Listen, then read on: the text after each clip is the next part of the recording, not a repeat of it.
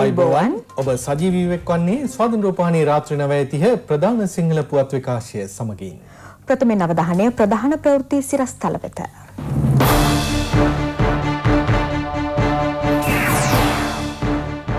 සමගි ජන බලවේගේ දැඩි විරෝධය එල්ලවෙද්දී හරින් වෙනුවෙන් සජිත් සමාව අයිති. ජේෂ්ඨ අධිනීතිඥ ජනක බණ්ඩාරට සිතාසීත් නොතීසිත් නිකුත් කිරීම නීතියට පටහැනි. නීතිපතිකයායි. රටම සංවර්ධන වැඩබිමක් කරන්න අගමැති මහින්ද සූදානමින්. දකුණු කොරියාවේ කාර්යාලයකිනුත් ගබඩා සංකීර්ණයකිනුත් කොරෝනා පොකුරු දෙකක්. දේශීය පුවත්. අගරදගුරු අතියුතුම් මැල්කම් කාදිනල් රංජිත් හිමිපාණන් පසුගේ ජනාධිපතිවරණයේදී දේශපාලන කටයුතුවල නිරත වූ බවට හිටපු අමාත්‍ය හරින් ප්‍රනාන්දු මහතා චෝදනා කරනවා. හරින් ප්‍රනාන්දු මහතාගේ මෙම ප්‍රකාශයට විවිධ පාර්ශ්වයන්ගෙන් දැඩි චෝදනා එල්ලවනවා. ප්‍රනාන්දු මහතාගේ මෙම ප්‍රකාශය මහත් ආන්දෝලනයටද ලක් වුණා.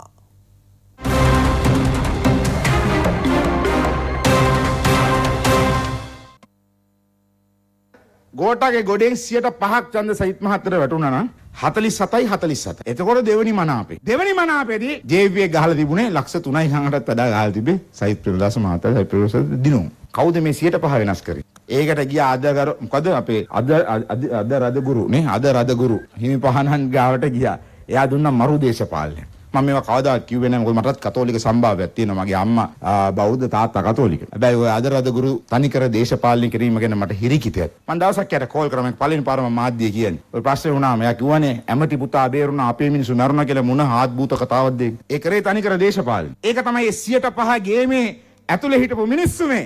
මේ සම්බන්ධයෙන් නිවේදනයක් නිකුත් කරන ශ්‍රී ලංකා කතෝලික සභාව හරින් ප්‍රනන්දු මහතා තම මහජන නියෝජිත වගකීම ඉටු කළේ නම් කාදිනල් හිමිපාණන්ට යුක්තිය ඉල්ලා සිවිල් කටයුතු වලට මැදිහත් වීමට සිදුවන්නේ නැති බව සඳහන් කරනවා.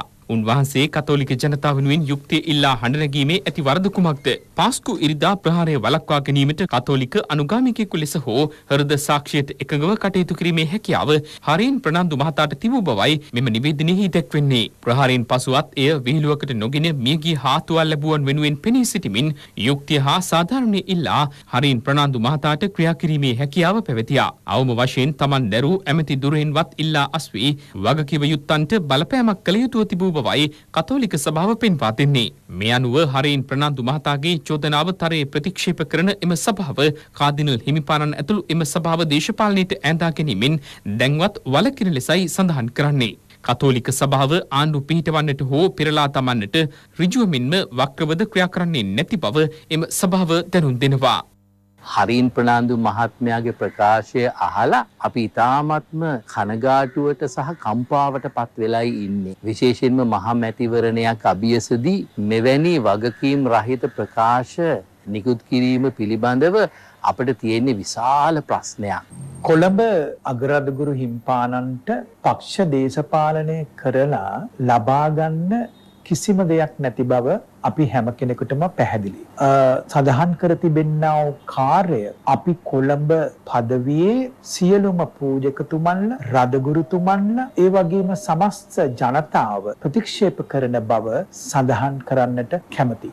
මස්්‍යස්ත කටයුතු වල යෙදෙන කාදිනල් හිමිපාණන්ට මෙවැනි චෝදනා එල්ල කිරීම සැබවින්ම ඉතාමත්ම පහත් ක්‍රියාවක්. අපි ඒවා ඉතාමත්ම පිළිකුල් සහගතව ප්‍රතික්ෂේප කරන අතර එවැනි දේ කතා කරන දේශපාල දේශපාලනඥයින්ට අපි මතක් කර සිටින්නේ සියයට පහේ ඒ අනුපාතය වගේ ප්‍රමාණයක් නැතිවන්නේ කාදිනල් හිමිපාණන්ගේ ක්‍රියාකලාපයන් නිසා නොවෙයි වාචාල කතාවන් සහ ජනතාව අතර විවිධාකාරයෙන් ප්‍රකාශයට පත් කරන කියවුම් කෙරුම් නිසයි.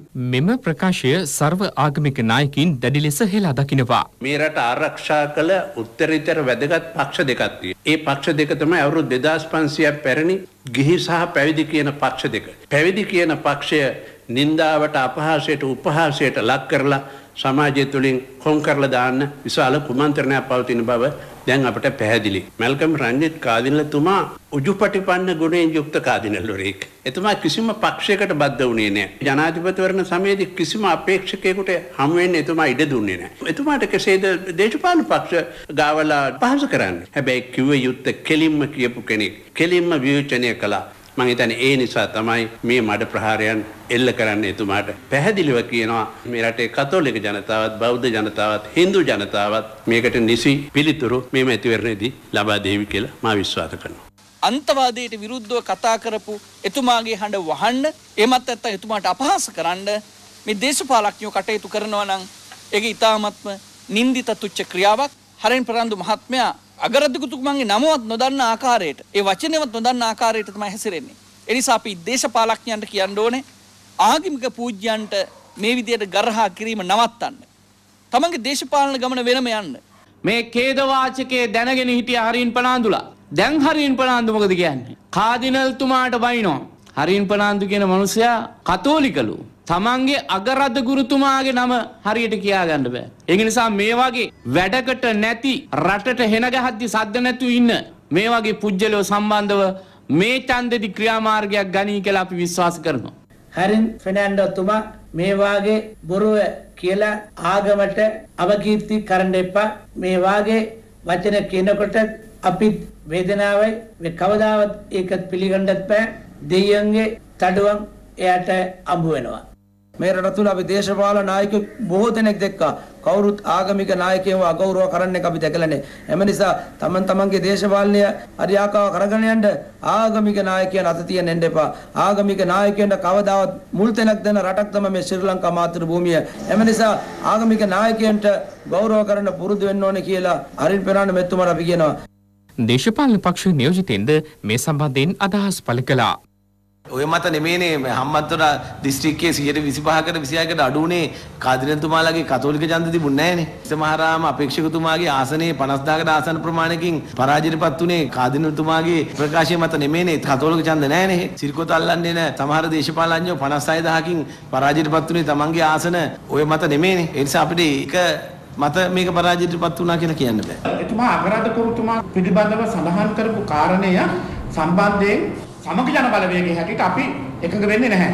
ඒකෙන් අගරාධකතුමාට යම්කිසි විදිහක සිත්‍රිදුමක් ඇති වුණා නම් ඒ ගැන කනගාටු වෙනවා පක්ෂයක් හැටියට කියන එකයි අපි කිව්වේ. එය නොවිය යුතු කාරණා. හරින් කියනවනම් ජනාධිපතිවරණය පැරදුනේ පාස්කු ප්‍රහාරය නිසා කියලා. එහෙනම් 2018 පෙබරවාරි 10 පළාත් පාලන ඡන්දේ පැරදුනේමක් කළාද? අගරද ගුරුතුමන් පාස්කු ප්‍රහාරය සම්බන්ධයෙන් ඊටාම මැද තැනක ඉඳලා ආගමික නායකයෙක් ලෙස කතා කළ යුතු දේ පමණයි කතා කළේ.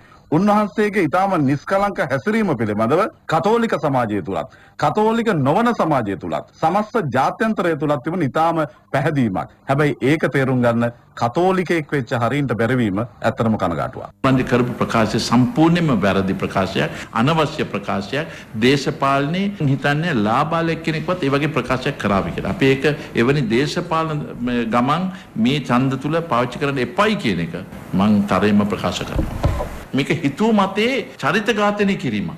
කාදිනල් හිමිපාණන්ට අපහාස කිරීම මං හිතන්නේ සමස්ත ශ්‍රී ලාංකීය ජනතාවටම කරපු අපහාසයක් ඇටියට මං දකින්නේ. විතරක් නෙමෙයි හරින් ෆර්නෑන්ඩෝ මැතිතුමා මේ පිළිබඳව ප්‍රසිද්ධියේ කාදිනල් හිමිපාණන්ගෙනුත් කතෝලික ජනතාවගෙනුත් සමස්ත ශ්‍රී ලාංකීය ජනතාවගෙනුත් සමාව අයද සිටින්න ඕනේ. මම කතෝලික දේශපාලඥයෙක් හැටියට මේ පිළිබඳව අපේ සමස්ත රටේ ජනතාවගෙන්ම සමාව ඉල්ලනවා පමණක් නෙමෙයි මෙය හෙලා දකිනවා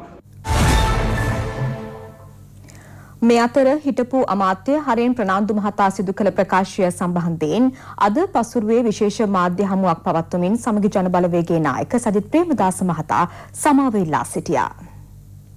හරින් ප්‍රනාන්දු හිටපු පාර්ලිමේන්තු මන්ත්‍රීතුමා මැතිවරණ රැලියකදී ඉදිරිපත් කරපු අදහස් තුළින් අතියුතුම් කාඩිනල් මැල්කම් රංජිත් හිමිපාණන්ට සිත් ඇවුලක් අගෞරවයක් සිදු වුණයි කියලා මම හිතනවා. මේ පිළිබඳව මම මගේ කනගාටුව ප්‍රකාශ කර සිටිනවා. එපමණක් නොව මම සමාව අයද සිටිනවා. වරදක් දුටු තැන ඒ වරද නිවැරදි කරන්නට කිසිසේත්ම මම පසුබට වන්නේ නැහැ. නැවත නැවතත් මේ සිදුවීම පිළිබඳව අතියුතුම් කාඩිනල් මැල්කම් රංජිත් හිමිපාණන්ගෙන් මම සමාව ඇද සිටිනවා. දාස මහතා අගමැති සිහිනමවන බව එක්සත් ජාතික පක්ෂ අපේක්ෂක දයා ගමගේ මහතා පවසනවා. මීගොඩ සුමනාරාම විහාරස්ථානයේ නායක ස්වාමින් වහන්සේ බැහැදැකීමෙන් අනතුරුව මාධ්‍ය වෙත අදහස් දක්වමින් දයා ගමගේ මහතා මෙම අදහස් පළ කළා. ගෙදර ඇතුළේ ඉඳන් සිරිකොත අල්ලන්න බැරි වුණා. ඉතින් දැන් වෙන පක්ෂයකට ගිහිල්ලා කොහොම සිරිකොත අල්ලන්නේ? එක්සත් ජාතික පක්ෂ මූලස්ථානයේ තමයි සිරිකොත. මම කියලා සිදහ ගන්න දෙනවා කියලා. ඔබතුමාලට දෙනවා මිත්‍ර කාලේ ආණ්ඩුපාලනය කළා වගේ කරලා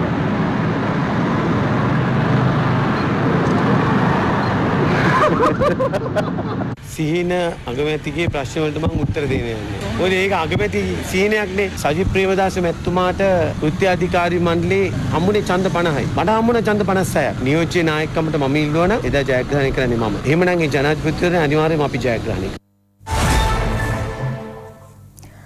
දේශපාලන පලිගැනීම් පිළිබඳ විමර්ශනය කරන ජනාධිපති කොමිසම ජ්‍යෙෂ්ඨ අධිනීතිඥ ජනක බණ්ඩාර මහතාට සිතාසි හා නොතීසි නිකුත් කිරීම නීතියට පටහැනි බව නීතිපතිවරයා දැනුම් දෙනවා. නීතිපතිවරයා මේ බව අදාළ කොමිෂන් සභාවේ සභාපතිවරයා වෙත නිශ්චිතව දැනුම් දී ඇතැයි නීතිපති සම්බන්ධීකාරක අධිනීතිඥ නිශාරා ජයරත්න මෙනවිය පවසනවා. කොමිෂන් සභා පනතේ දාසය වන වගන්තිය ප්‍රකාරව ජේෂ්ඨ රජයේ අධිනීතිඥ ජනක බණ්ඩාර මහතා වෙත සිතාසියක් හා නොතීසියක් නිකුත් කිරීම පහත සඳහන් හේතුන් මත නීතියට පටහැනි බව නීතිපතිවරයා විසින් කොමිෂන් සභාවේ සභාපතිවරයා වෙත අද දින ලිඛිතව දැනුම් දී ඇත. කොමිෂන් සභාව වෙත ලබා දී ඇති බලතල ප්‍රකාරව නීතිපතිවරයා හෝ ඔහුගේ නිලධාරීන් සම්බන්ධයෙන් විමර්ශනය කිරීම සිදු කළ නොහැකි බවට දක්වා ඇත.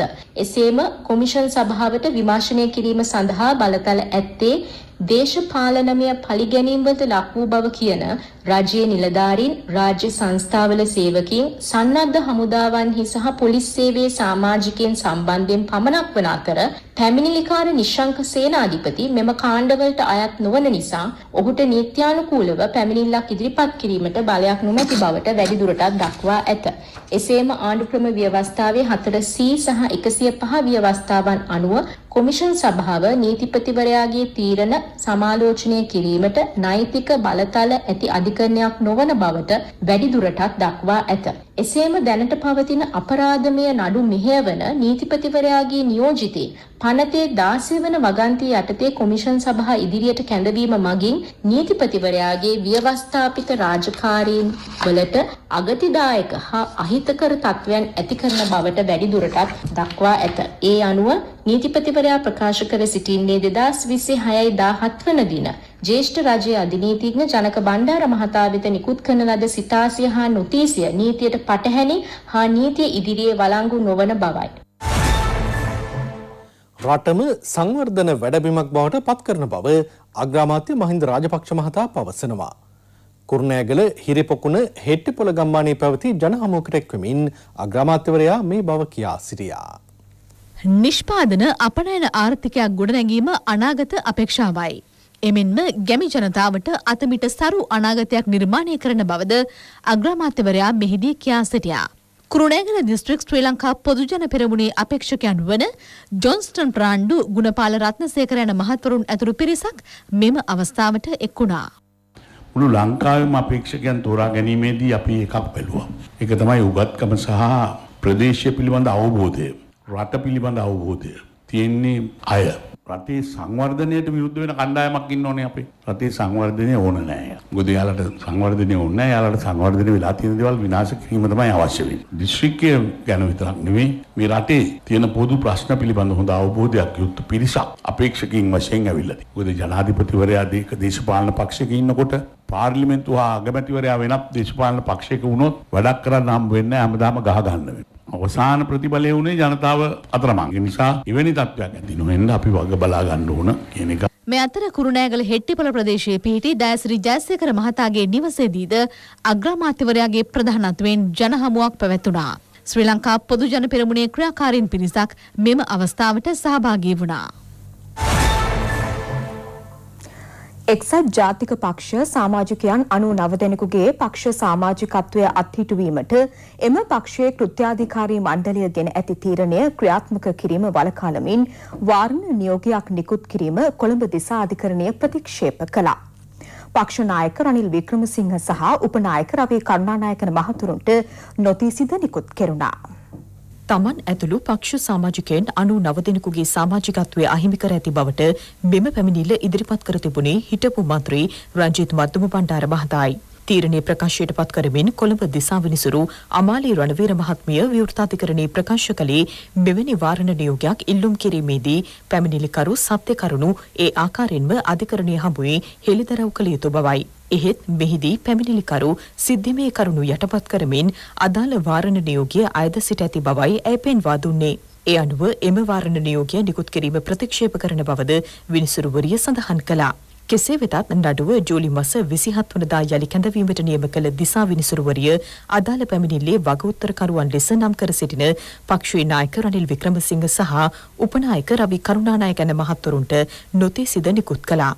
අද සිට සති දෙකක් ඇතුළත විරෝධතා තිබේ නම් ඉදිරිපත් කරන ලෙස පැමිණිල්ලේ වගඋත්තරකරුවෙකු ලෙස නම් කර සිටින එක්සත් ජාතික පක්ෂයේ මහලේකම් හිටපු මන්ත්‍රී අකිල විරාජකාරියවසම් මහතාටද අධිකරණය නියම කළා.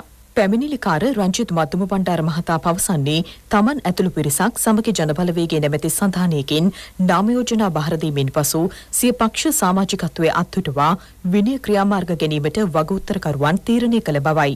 අදාළ සන්ධානය ස්ථාපනය කළේ එක්සත් ජාතික පක්ෂ කෘත්‍යාධිකාරී මණ්ඩලය ගත් තීරණයකට අනුව බැවින් ඒ තුළින් තමා ඇතුළු පිරිස එක්සත් ජාතික පක්ෂ ව්‍යවස්ථාව උල්ලංඝනය කර නැති බව මද්දුම පණ්ඩාර මහතාගේ පැමිණිල්ලේ සඳහන්. ඒ හේතුවෙන් තමන් ඇතුළු පිරිසට විනය ක්‍රියාමාර්ග ගැනීමට එක්සත් ජාතික පක්ෂ කෘත්‍යාධිකාරී මණ්ඩලය ගත් තීන්දුව නීතියට පටහැනි බවට ප්‍රකාශ කොට තම පක්ෂ සමාජිකත්වයේ අත්හිටුවීමට ගෙන ඇති තීරණය ක්‍රියාත්මක කිරීම වැළැක්වීමේ වාරණ නියෝගයක් ක්‍රියාත්මක කරන ලෙසටයි ඔහු ඉල්ලා තිබුණේ. මෙහි වග උත්තරකාර අකිල විරාජකාරියවසම් මහතා සිය විරෝධතා මගින් අධිකරණයට දන්වා තිබුණේ සමගි ජනබලවේගයේ නැමැති පක්ෂයක් පිහිටුවීමට එක්සත් ජාතික පක්ෂ කෘත්‍යාධිකාරී මණ්ඩලය කිසි විටකත් අනුමැතිය ලබා දී නැති බවයි. පැමිණිලිකාර රංචිත් මත්තුම පණ්ඩාර මහතා ඇතුළු පිරිස සමගි ජනබලවේගයේ නැමැති පක්ෂයේ සමාජිකත්වය ලබාගෙන එම පක්ෂයෙන් නාම යෝජනා බහර දී ඇති බැවින් ඔවුන්ට එක්සත් ජාතික පක්ෂ සමාජිකත්වය තවදුරටත් දැරීමට කිසිදු සුදුසුකමක් නැති බව අකිල විරාජකාරී වසම් මහතා අධිකරණය හමුවේ පෙන්වා දී තිබුණා. ඔහු තවදුරටත් පවසා තිබුණේ පක්ෂ ව්‍යවස්ථාව උල්ලංඝනය කිරීම සම්බන්ධයෙන් මොවුන්ට විනය ක්‍රියාමාර්ගයක් ආරම්භ කර ඇති බවත් එය වැළැක්වීම සඳහා වාරණ නියෝගයක් නිකුත් කළහොත් දැඩි අගතියක් සිදුවිය හැකි බවත්ය. පක්ෂ ව්‍යවස්ථාවට පටහැනිව කටයුතු කරනවා නම් සත් ජාතික පක්ෂ ව්‍යවස්ථාව අනුව පක්ෂ සමාජික අත්හිටුවීමේ බලය ගරු මහලේකම්තුමාට තියෙනවා. ඒ අනුව තමයි එතුමායි පියවර ගන්න. ඕනම කෙනෙක් පක්ෂ විනය කඩ කරොත් ඒයට විරුද්ධව පියවර ගැනීම පක්ෂයේ විනය පවත්වාගෙන යාම සඳහා අත්‍යවශ්‍ය කාරණයක්. කරුණා අම්මාන් හෙවත් විනයාගමූර්ති මුරලිදරන් විසින් සිදු කරන ලදැයි කියන ප්‍රකාශයක් පිළිබඳ වහාම විමර්ශනයක් ආරම්භ කරන ලෙස වැඩබලන පොලිස්පතිවරයා අපරාධ පරීක්ෂණ දෙපාර්තමේන්තුවට නියම කර තිබෙනවා. ඒ ඔහු LTTE සාමාජිකයෙකු වශයෙන් සිටියදී කළ බව කියන අපරාධ පිළිබඳ ප්‍රකාශයක් සම්බන්ධවයි. ඒ අනුව ඔහුට අපරාධ පරීක්ෂණ දෙපාර්තමේන්තුවට පැමිණෙන ලෙසට දැනුම් දී ඇති බවයි අද පැවති මාධ්‍ය හමුවකදී පොලිස් මාධ්‍ය ප්‍රකාශකවරයා සඳහන් කළේ. කරුණා අම්මාන් මහත්මයා ප්‍රකාශයක් කරලා තියෙනවා බවට වාර්තා වෙලා තියෙනවා පොලිස්පතිතුමා විසින් උපදෙස් දීලා තියෙනවා අපරාධ පරීක්ෂණ දෙපාර්තමේන්තුවට විවාදාත්මක ප්‍රකාශය සම්බන්ධයෙන් විමර්ශනයක් කරන්න කියලා. ඒ අනුව ඒ මහතාව කැඳවලා තියෙනවා අපරාධ පරීක්ෂණ දෙපාර්තමේන්තුවට. අපි බලාපොරොත්තු වෙනවා ඒ මහත්මයා නීතියට ගරු කරමින් අපරාධ පරීක්ෂණ දෙපාර්තමේන්තුවේ ඉදිරියේ පෙනී සිටී කියලා. ඔහුගෙන් ප්‍රකාශ සටහන් කරගෙන ඊට අදාළ විමර්ශන කටයුතු තවදුරටත් ඉදිරියට කරන්න අපරාධ පරීක්ෂණ දෙපාර්තමේන්තුව කටයුතු කරනවා. වැලිසර නාවික හමුදා කඳවුර හෙට විවෘත කරන බව නාවික හමුදාව පවසනවා. කොරෝනා ව්‍යාප්තියත් සමග මෙම කඳවුර වසා දැමුණේ පසුගිය අප්‍රේල් 27 වනදායි. මේ අතර ගත වූ දින කිහිපයේ මෙරටින් කිසිදු කොරෝනා රෝගියෙකු වාර්තා වූයේ නැහැ. සුවය ලැබූ සංඛ්‍යාවද 1500 ඉක්ම වූවා. පසුගිය අප්‍රේල් මාස 21 වන දින නායක හමුදාවේ පළමු කොවිඩ් ආසාදිත නායක හමුදා සෙබලා කොළඹ උපදේශයෙන් වාර්තා වීමත් සමගම අප්‍රේල් මාස 24 වන දින සිට මේ වෙනතේ පෙරසර කඳවුරේ කටයුතු తాවකාලිකව නවතා දමමින් හුදකලා කඳවුරක් බවට නායක හමුදාව විසින් වැලිසර කඳවුර පත් කර තිබුණා. නමුත් මේ වන විට වැලිසර කඳවුර කොළ කලාපයන් ලෙස නම් කරමින් එහි කටයුතු සාමාන්‍ය පරිදි පවත්වාගෙන යාමට හැකි බවට සෞඛ්‍යයස මගින් නිර්දේශ ලබා දී තිබෙනවා. ඒ අනුව නායක හමුදාපතිතුමා විසින් වැලිසර කඳවුරේ කටයුතු නැවත ආරම්භ කිරීමට අවශ්‍ය උපදෙස් ලබා දී තිබෙනවා. මෙම කඳවුරේ කටයුතු අධිකර කිහිපයක් යටතේ පටන් ගැනීමට නායක හමුදාව විසින් කටයුතු කරනවා. මේ වන විට මෙරටින් හඳුනාගත් කොරුණා ආසාදිතයින් සංඛ්‍යාව එක්දහස් නවසය පණහක්. ඉන් එක්දහස් පන්සේ විසිහය දෙනෙකුම සුවේ ලබා පිටව ගොස් තිබෙනවා. දැනට රෝහල්ගතව ප්‍රතිකාර ලබන කොරුණා රෝගීන්ගේ සංඛ්‍යාව හාරසිය දහතුනක්. කොරුණා ආසාදනය වී රෝහල්ගතව ප්‍රතිකාර ලැබූ නාවික හමුදාවේ විසි අට දෙනෙකු සුවේ ලබා පිටව ගියා. වෛද්‍යවරුන්ගේ විමර්ශනය යටතේ සැකසහිත රෝගීන් තිස් එක් දෙනෙකු ප්‍රතිකාර ලබමින් සිටිනවා. සුවේ ලැබූ සංඛ්‍යාව සීග්‍රයෙන් ඉහළ යාමත් ආසාදිතයින් හමු නොවීමත් ඉතා යහපත් තත්ත්වයක් බවයි සෞඛ්‍ය අංශ සඳහන් කරන්නේ. කොරෝනා ව්‍යසනයත් සමග විදේශගත ශ්‍රී ලාංකිකයින් දෙවෙනිට ගෙන්වා ගැනීමේ වැඩපිළිවෙල යටතේ අද දිනේද පිරිසක් දෙවෙනිට පැමිණියා. ඒ ඉන්දියාවේ සිටයි. ස්වාමීන් වහන්සේ දාහත් නමක් ඇතුළු දෙසිය හතලිස් දෙනෙකු මෙම පිරිසට අයත්. උදැසන හයයි තිහට මෙම පිරිස දෙවෙනිට ළඟා වූයේ එයා ඉන්දයා ගුවන් සේවයට අයත් යානයකිනුයි. මෙහි සම්බන්ධීකරණ කටයුතු සිදු කළේ පූජ්‍ය උමල්පේ සුමනරතන ස්වාමීන් වහන්සේ. ගුවන්තොටුපලේදීම PCR පරීක්ෂණයක් සිදු කිරීමෙන් අනතුරුව ඔවුන් නිරෝධායන මධ්‍යස්ථාන වෙත යොමු කෙරුණා. ජනාධිපතිතුමා ඒ වගේම රජය ඒ වගේම ඉන්දියාවේ ශ්‍රී ලංකා තානාපති කාර්යාලය මූලික වෙලා විශේෂ ගුවන් යානයක් ඒ සඳහා සූදානම් කරලා විශේෂයෙන් මේ ලංකාවට ගෙන්වා ගැනීමට අවශ්‍ය කරන ඒ කටයුතු සංවිධානය කරන්නට යෙදුණා. අද උදෑසන 242ක කණ්ඩායමක් ලංකාවට පැමිණියා. ඉතින් ආපු වෙලේ ඉඳලා අපේ ගුවන් තොටුපළේ ආරක්ෂක අංශේ හැමදෙනාගේම ගෞරවණීය පිළිගැනීම ඒ වගේම කාර්යක්ෂම සේවා පිළිබඳ විශේෂයෙන් අපි ස්තුතිවන්ත වෙනවා. අපේ හාමුදුරන් වහන්සේලා ඔක්කොම වඩම්මගෙන ආවේ කුණ්ඩසාලේ තියෙන සම්පකාර පුහුණු ආයතනයට. ඉතින් ආපු වෙලේ ඉඳලා ආරක්ෂක අංශයේ අපේ දරුවෝ අපි ගැන සොයලා බලලා හැමදේම කිසිම අඩුවක් නැතුව සූදානම් කළා. හමුදාපත්තුමා ඇතුළු ආරක්ෂක අංශයේ සියලුම දෙනාටමත් සෞඛ්‍ය අංශයේ හැම දෙනාටමත් මේ කරන කැපවීම පිළිබඳව අධිකරු ජනාධිපති ගෝඨාභය රාජපක්ෂතුමා ප්‍රධාන කොට ඇති ආණ්ඩුවටත් අපි පුණ්‍යානුමෝදනා සිදු කරනවා. මේ අතර මුඛාවරණ පැළඳීම හේතුවෙන් ශ්වසන රෝග මෙන්ම උලත් විට කෑම දුම්පානය ආදී සෞඛ්‍යයට අහිතකර පුරුදු අවම වී තිබෙන බව ජාතික රෝහලේ නියෝජ්‍ය අධ්‍යක්ෂ විශේෂඥ වෛද්‍ය චන්දන ගජනායක මහතා පවසනවා. ඇත්තටම ලංකාවේ ප්‍රධානතම රෝගයක් තමයි ශ්වසන රෝග.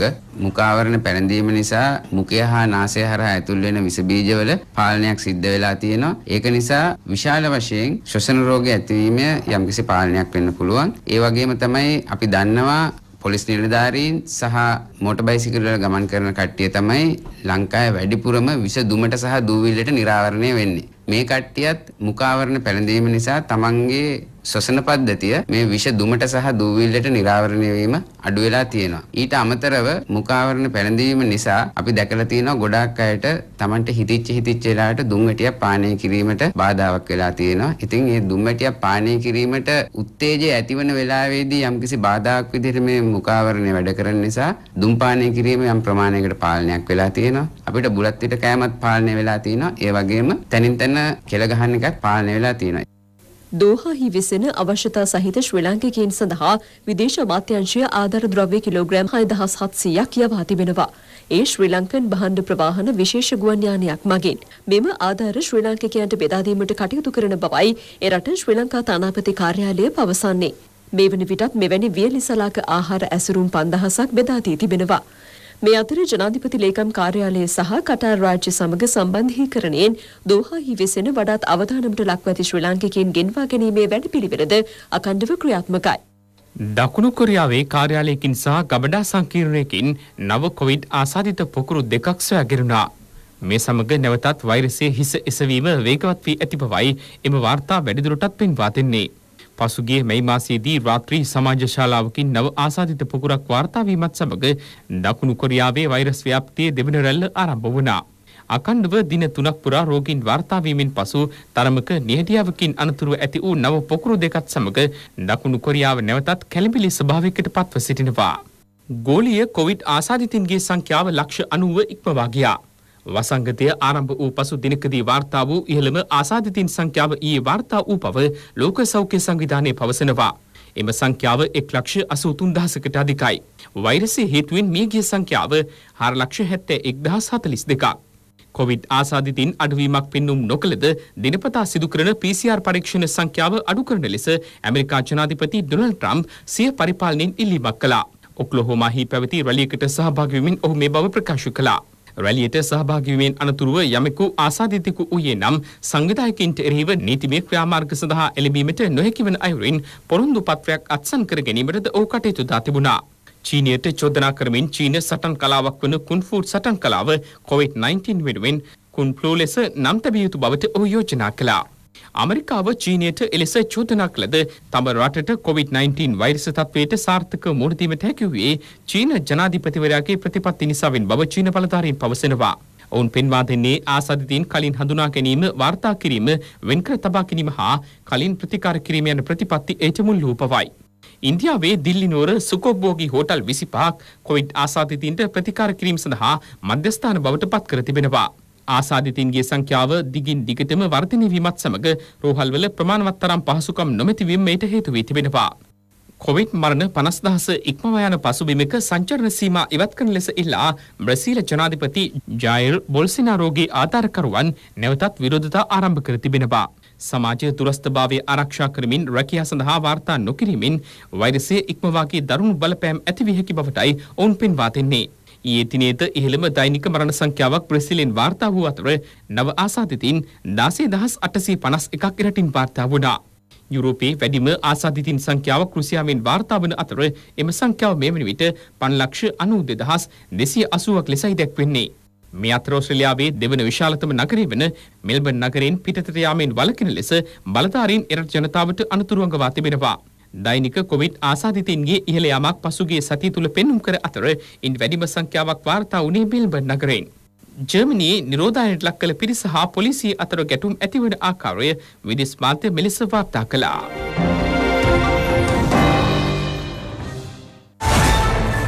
සිනමා ශාලා විවෘත කිරීම පිළිබඳ සෞඛ්‍ය සේවා අධ්‍යක්ෂ ජෙනරාල්වරයාගේ උපදෙස් මාලාව මේ වන විට නිකුත් කර තිබෙනවා. සෞඛ්‍ය සේවා අධ්‍යක්ෂ ජනරාල්වරයා විසින් මාර්ගෝපදේශන අංක 48 යටතේ මෙය නිකුත් කරනු ලැබ ඇත්තේ. බුද්ධ ශාසන සංස්කෘතික හා ආගමික කටයුතු අමාත්‍යංශයේ ලේකම් බන්දුල හරිස්චන්ද්‍ර මහතා කළ ඉල්ලීමකට අනුව සෞඛ්‍ය සේවා අධ්‍යක්ෂ ජනරාල් විශේෂඥ වෛද්‍ය අනිල් ජාසිංහ මහතා මෙම උපදෙස් මාලාව නිකුත් කළා. එම මාර්ගෝපදේශනයන් සෞඛ්‍ය හා දේශීය වෛද්‍ය සේවා අමාත්‍යංශයේ නිල වෙබ් අඩවියේ පළ කර තිබෙනවා. ලබන විසිහත් වනදා සිනමා ශාලා විවෘත කරනවා. එහෙත් මෙම මාර්ගෝපදේශයන්ට අනුවයි සිනමා ශාලා පවත්වාගෙන යා යුතු වන්නේ. ස්වාධීන රූපානී රාත්‍රී පුවත් විකාශය ඒ සමගින් අවසන්. ඔබට සුබ රාත්‍රියක්.